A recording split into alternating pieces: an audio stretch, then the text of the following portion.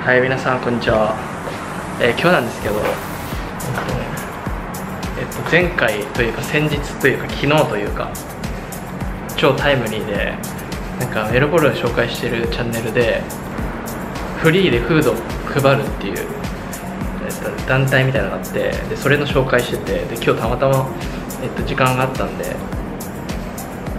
えっと、そこに行ってきました。はい。こんな感じで今机に並べてあるサムネにある通りなんですけどこんな感じでもらえます。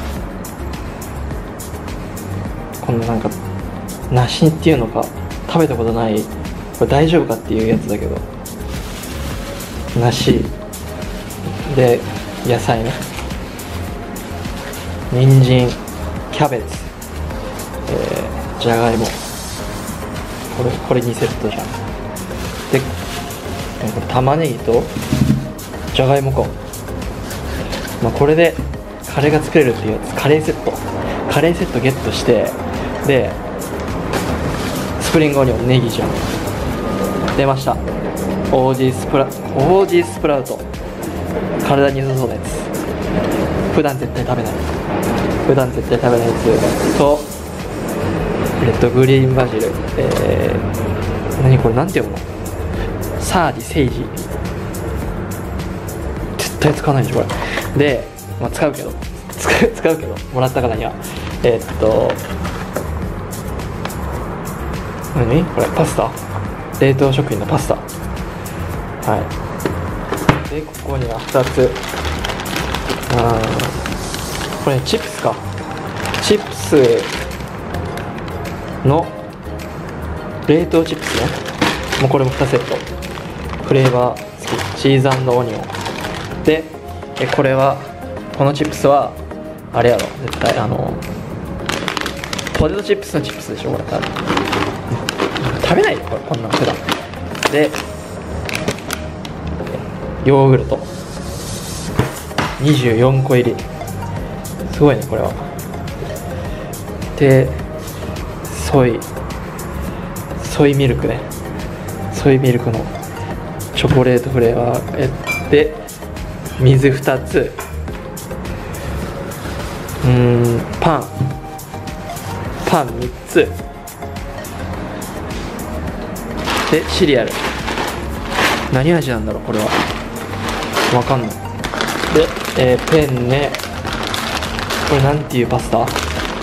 これもこのなんかなんかあのネジみたいなパスタ。となんか最後変なコンディショナーっていうのかなこれ。石鹸コンディショナーバーって書いてあるよ。すごいこんなの初めて見た。ふざけてるけど。あとこのは謎に歯磨き粉。を、えーいただきました。はい。エンパワーさんありがとうございます。いやでもねこういったこういったものってやっぱ助かります。助かります。はい。だからまあぜひ皆さん行ってみてください。本当に無料で配ってるんで結構量あるんで、うんなんか腕ちぎれそうだった俺持って帰るとめちゃくちゃもう。3袋くらい。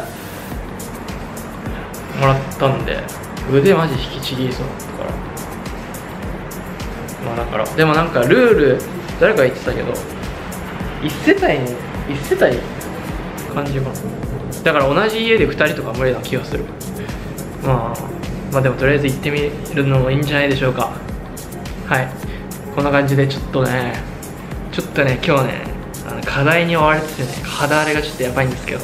課題あれあれなんですよ俺課題の提出期限に近づくとすごいねあの夢夢見がちで結構悪夢見がちで。でかつあんまり寝れないっていう。必ずこれお決まりなんですけど。まあちょっと課題頑張ります。今日提出期限。